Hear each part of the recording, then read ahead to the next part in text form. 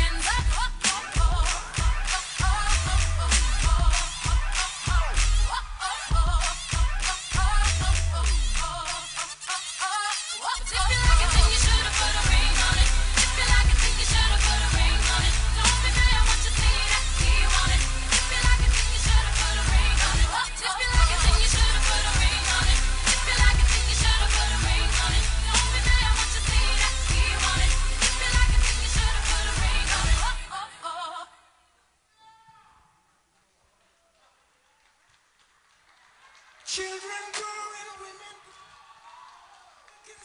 Thank you very much, Aysha. Thank you.